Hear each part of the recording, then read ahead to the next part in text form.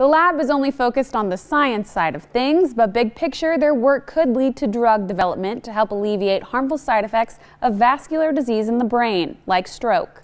We need to understand more what's going on with our bodies. Researchers at Boise State are trying to understand how the tiniest parts of our body create the big picture. We don't really necessarily want to see green here. Green's bad. Green means severe inflammation. The basis of their research lies at the blood brain barrier. That's the border between your blood and your brain. We believe that a lot of inflammatory uh, conditions, whether it's long-term Alzheimer's related or short-term flare-ups from uh, multiple sclerosis, that they all in some way um, have a connection to the blood-brain barrier. Specifically, they're studying when it becomes damaged due to things like inflammation or disease and causes leakage in the brain. Turn lead to neuron dysfunction or uh, poor brain, either cognition or even motor function, as in the case of multiple sclerosis or Parkinson's disease. To put it simply, they want to figure out how to protect the cells from inflammation often found with MS, Alzheimer's, or post stroke. And they're finding an insulin like drug to be a key player. We